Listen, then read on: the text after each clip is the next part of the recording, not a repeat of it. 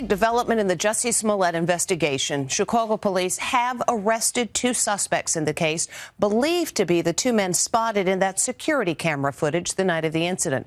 Here's what we've learned about the two bodybuilding brothers now being questioned. The Jussie Smollett investigation is taking a shocking turn with the arrest of these two men. Both know Smollett and have appeared on his TV show Empire as bit actors. Detectives have probable cause that they may have been involved in an alleged crime, a police spokesman said.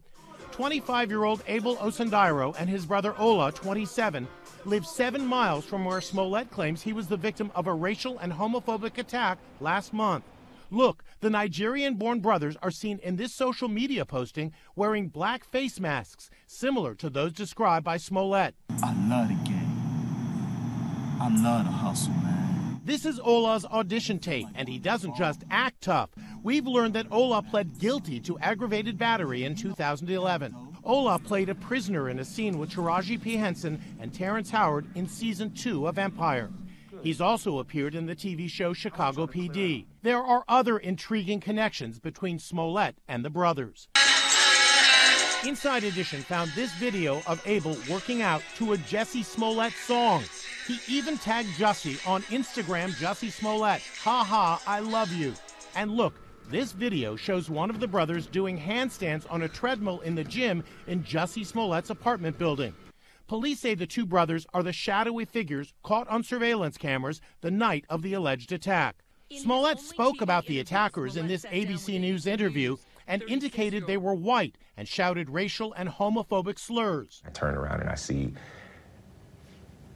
the uh, attacker uh, masked, and he said, "This MAGA country."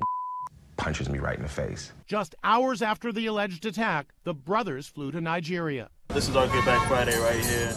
This social media video shows Ola giving money to an injured teenager there. They flew back to Chicago 2 weeks later on Wednesday at 5:45 p.m. and detectives were waiting for them when they landed at O'Hare Airport.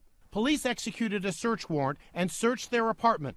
A handwritten inventory shows these items cops confiscated bleach, black face mask, red hat, a script from Empire, laptop, and receipts. Here's Les Trent. The two suspects were brought here for questioning by Chicago detectives. Jussie Smollett also came here for further interviews about what he says happened to him.